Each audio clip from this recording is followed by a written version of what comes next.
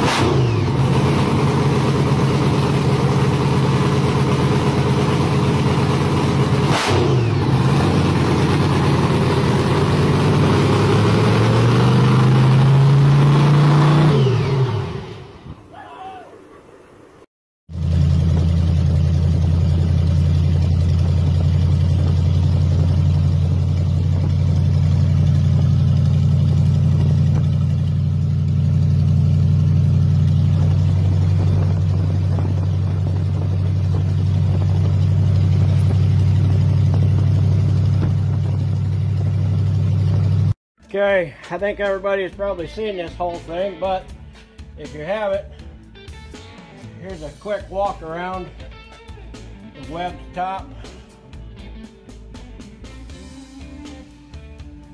Cadillac tail lights. Caterpillar 550 pistons and rods. 1928 license plate. Looking in the back window. The eye flying eye.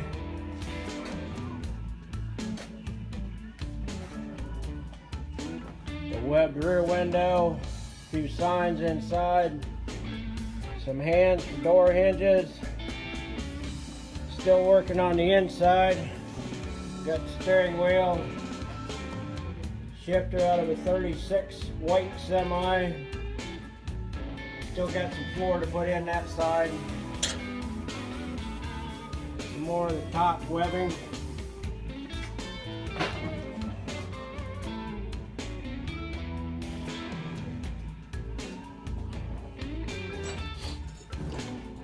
The hand holding the mirror.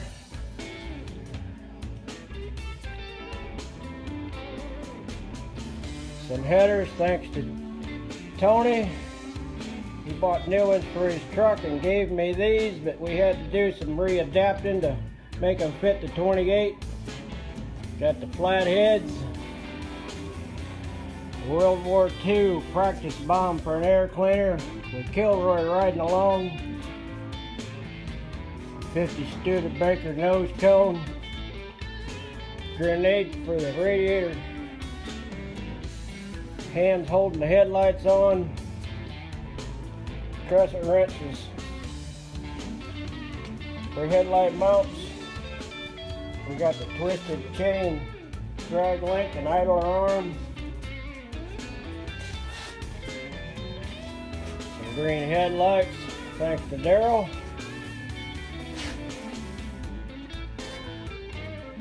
We got the copper overflow line, the JD overflow bottle, the Harley Davidson dresser shocks,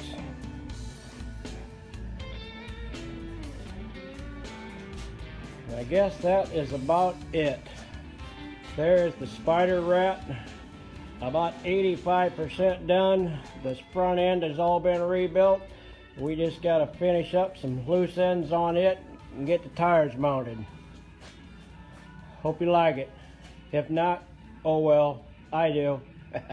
Have a great day.